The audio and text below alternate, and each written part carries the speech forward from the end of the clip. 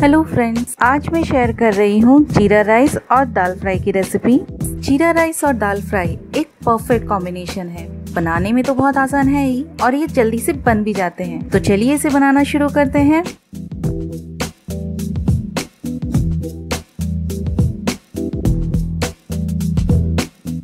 जीरा राइस बनाने के लिए एक कप बासमती राइस को धोकर पानी में आधे घंटे के लिए भिगो करके रख दें।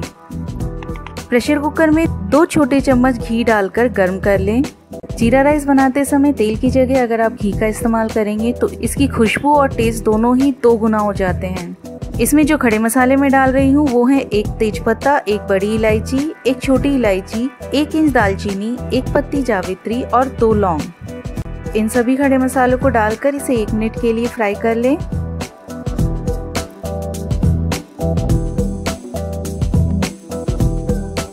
अब इसमें डालें एक छोटा चम्मच जीरा।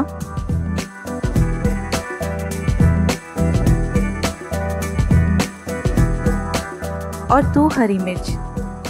इसे भी फ्राई कर लें।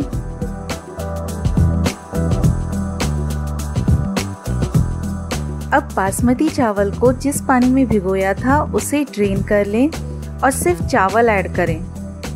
हल्के हाथों से इसे मिक्स कर लें। चावल को इस तरह से घी में फ्राई करने से उसका स्वाद बहुत ही अच्छा आता है। तो इसे करीब एक से दो मिनट के लिए हम फ्राई कर लेंगे। तो ये देखिए, चावल के दाने अच्छे से घी में कोट हो गए हैं।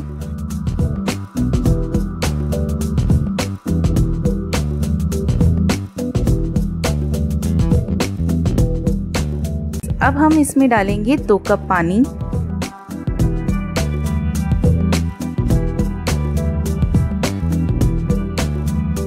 और नमक स्वाद अनुसार।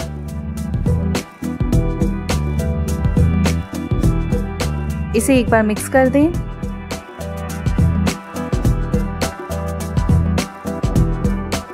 अब ढक्कन लगा करके इसे मध्यम आँच पर तीन से चार सीटी आने तक पकाएँ।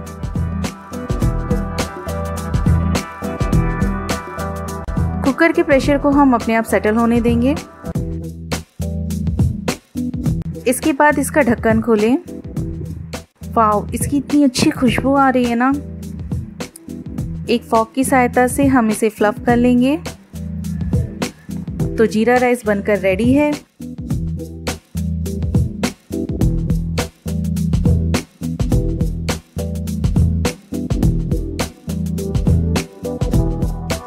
ये देखिए, ये चावल कितने खिले खिले बने हैं। और इसे बनने में बहुत ज़्यादा टाइम भी नहीं लगा है। और इसकी टेस्ट और खुशबू तो बहुत ही अच्छी आती है। इसे हरी धनिया से गार्निश करें। ये दाल फ्राई के साथ बहुत ही अच्छी लगती है।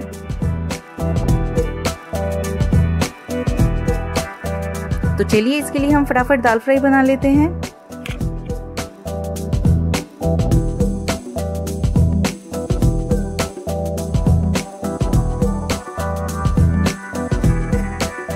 दाल फ्राई बनाने के लिए एक कप तुअर दाल या इसे अरहर की दाल भी कहते हैं। इसे मैंने अच्छे से दो तीन बार पानी से धो लिया है। अब इसे मैं कुकर में डाल रही हूँ। साथ ही इसमें डालें दो कप पानी, आधा चम्मच हल्दी और एक चम्मच तेल। इसे मिक्स कर लें।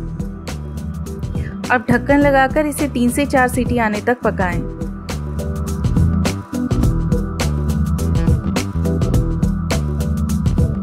अब इसका ढक्कन खोलकर जो ये कलछी होती है, इसकी जो पीछे वाला भाग होता है, इसकी मदद से हम इसे थोड़ा सा मैश कर लेंगे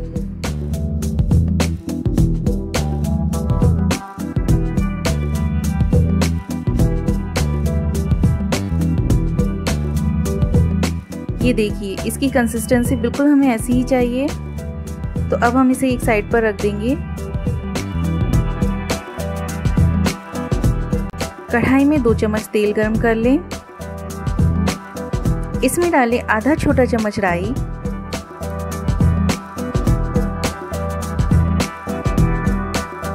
जब ये अच्छे से तड़कने लगे, तब हम इसमें डालेंगे आधा छोटा चम्मच जीरा। एक चुटकी हींग कड़ी पत्ता, ये ऑप्शनल है। अगर हैं तो डालिए, अगर नहीं है तो भी चलेगा। और दो सूखी हरी मिर्च।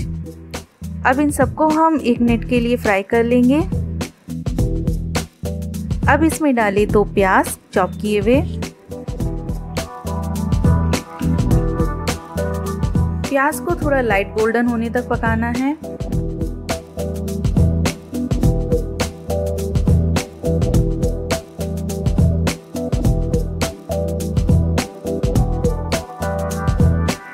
अब इसमें डालें एक छोटा चम्मच अदरक लहसुन का पेस्ट और मिक्स कर लें। इसे हम दो तीन मिनट कुक करेंगे।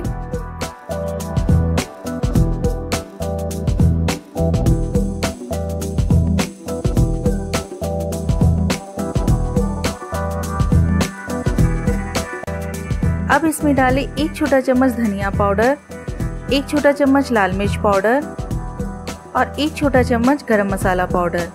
इन सभी को अच्छे से मिक्स कर लें। मसालों को हम तीन से चार मिनट के लिए अच्छे से फ्राई कर लेंगे।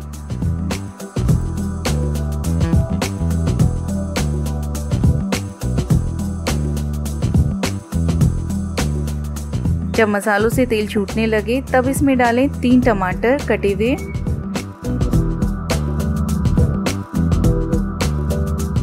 नमक स्वाद अनुसार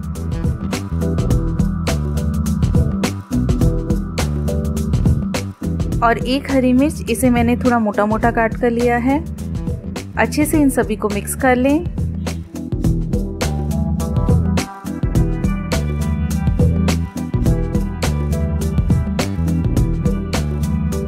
अब इसे कवर करके हमें तब तक कुक करना है, जब तक कि टमाटर अच्छे से सॉफ्ट नहीं हो जाते। यहाँ टमाटर अच्छे से सॉफ्ट हो चुके हैं।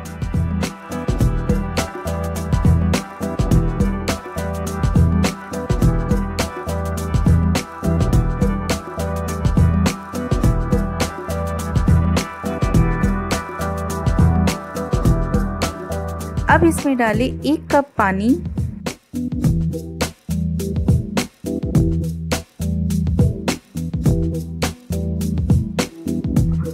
और जो दाल हमने कुक करके रखी थी, इसमें हम वो डाल देंगे।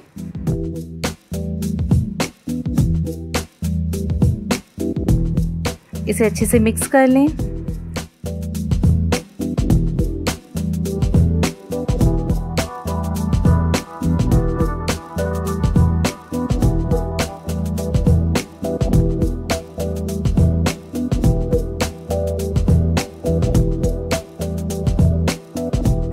फाइनली इसमें डाली कसूरी मेथी और हरी धनिया।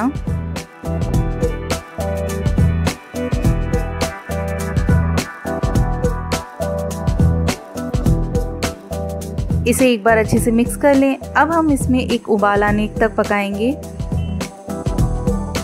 दाल में उबाल आ गया है। गैस की फ्लेम को बंद कर दें। दाल फ्राई रेडी है।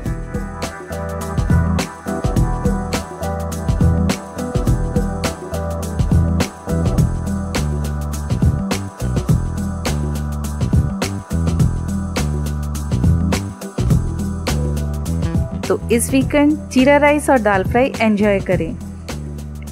दोनों का टेस्ट बहुत ही अच्छा आता है और एकदम रेस्टोरेंट स्टाइल बल्कि उससे भी बहुत ही अच्छे बनेंगे। तो आप भी ये रेसिपी ज़रूर ट्राई करें। और अगर आज की रेसिपी आपको पसंद आती है तो प्लीज़ इसे लाइक करना और चैनल को सब्सक्राइब करना ना भूलें। Thank you